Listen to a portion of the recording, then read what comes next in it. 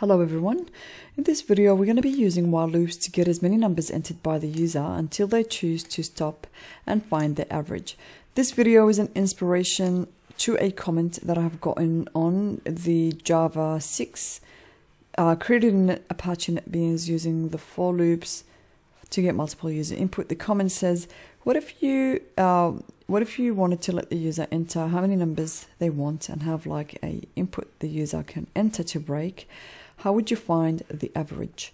So this, I thought it was such a great comment, and this video is is a response to that comment. So we're going to use the same video that we uh, same code that we've written in the previous video, but make few changes. So some of the changes that we want to do is I'm going to cut it, um, cut that line, and then put it here. And I'm also going to remove that comment because we will change the for loop to become a while loop uh, but more on this in a second. Let's just um, do one thing is ask the user to enter a number. And we want so this is going to be our stopping condition. Enter hit enter to stop. Uh, and close that bracket. And um, we if we ask the user to enter a number but then we want it we want the user to be able to stop when they hit enter, we need to take the entry as a um, as a sorry as a string. I kind of lost what I wanted to say, and we want to store that in a in a string input. So we call our new variable user entry, and um, let's um, actually give it an empty string initially, and then um, put it into here user entry. Spelled it wrong. Okay and uh, what we then need to do is um, I'll, I'll, just have a comment I have a comment here that I'd like to add in here. So here we will get the number as a string initially and then what we want to do is change our for loop into a while loop. So I've got another comment here. So with the for, uh, with the for loop, you know the stopping condition, which is if i is less than that counter. But with the while loop, what we're going to do is we want to step out of the while loop if that string is empty. But if the string is not empty, we will enter the while loop. So while um, so what we want to do is check if this is an empty string and we could use the, the is empty method. And then what this gives us is true or false depending on whether or not this is an empty string or not.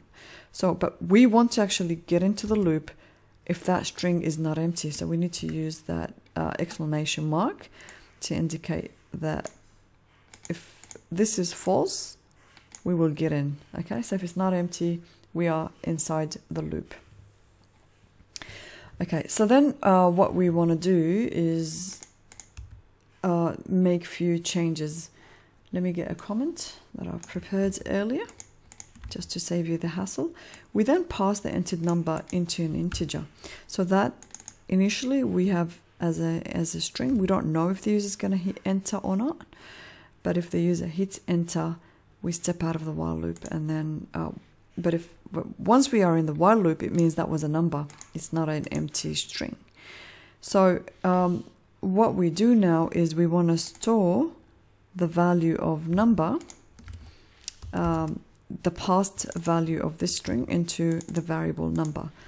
And so to actually parse it, we need to use the wrapper class integer and use the parse int method and there we go okay so that's what we have. Then what we do is we will update the sum. So let's update sum. So this is our sum and it's been updated. Another important thing that we need to do is we need to actually update our counter. So we need to update the counter to keep track of how many numbers were entered so far. Otherwise, we won't be able to do our division over here, right? So to update our counter, we do counter plus plus.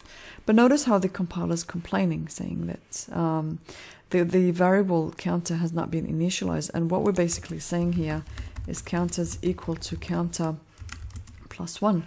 So that value initially is, is not there is not initialized. So we need to give it an initial value and I'm going to give it a 0 because we want to start from 0.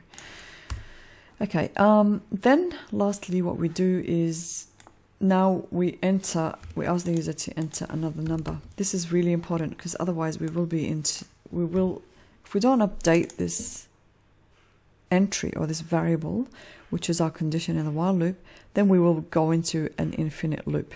So we can just copy these two lines and then repeat them inside a while loop to get a new number. Okay, so I guess this is it. The average is then computed. Nothing else changes here. It pretty much works the same as it used to be. So let's give this a run and make sure it works as expected. Um, let's give some numbers. And then now I'm going to hit enter and we got our average. Let's give more numbers this time. Two, three, four. Uh, so that's just been entered here. And five and six. I'm going to hit enter and our average is four. Then I'm going to do um, 10, 10, 10. You can put in as many numbers as you like. But I'm choosing the same number because when I stop, I know that the average is correct because they're all 10s. So I hope this video helps you in um, improving your program, whether or not you were working on the one that we've written previously, the Java 6 one. But yeah, I do hope it helps you out, and then I'll see you in future videos. Thank you.